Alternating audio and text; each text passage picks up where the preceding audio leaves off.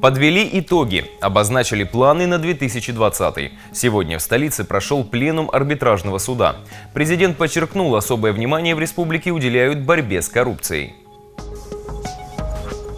В условиях э, непризнанного государства мы должны насколько быть ближе к идеалу, чтобы нас стремились вложить деньги в нашу экономику.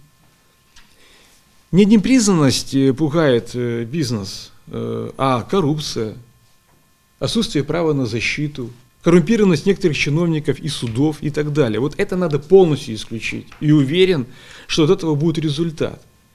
Будет капитализация экономики, будут инвестиции, будут рабочие места и будут налоги, с которых мы можем заплатить, повысить заработные платы, пенсии, развивать наше государство. Это все взаимосвязано. И работа каждого очень важна.